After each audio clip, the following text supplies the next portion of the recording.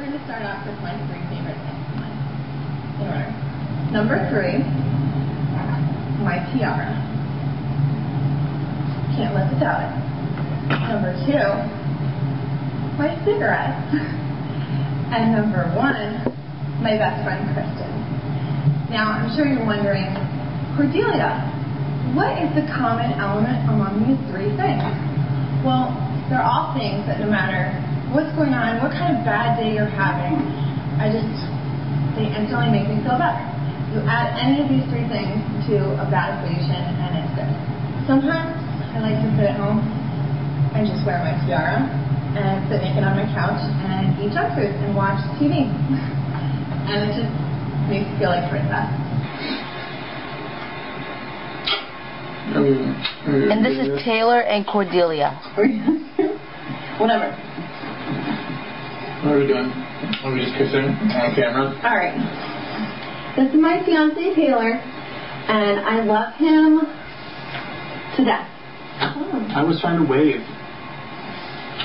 Me and Taylor and Kristen filming. We sat on the couch, and we tried to brainstorm for a little while about what would be an inventive, funny, whatever idea. So, so we're just going to show you us in our natural habitat. Us, me, and you, Taylor.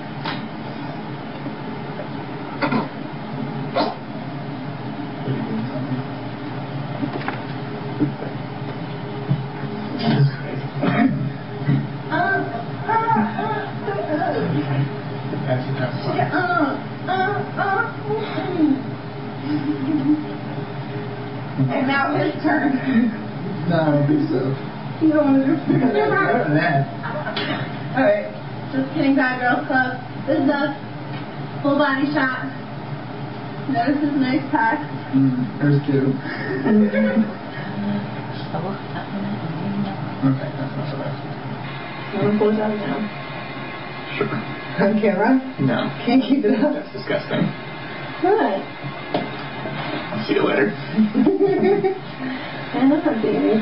I feel that the Bad Girl Club would be an awesome experience, a life-changing experience. and I'm stupid to turn it down, and hopefully you guys will pick me because I really have a lot of stuff that I want to learn. I really do want to learn how to be a better friend, how to trust people a lot more, and I feel that being thrust into this situation with six other girls I mean, it's not going to go smoothly at first. Change doesn't happen overnight.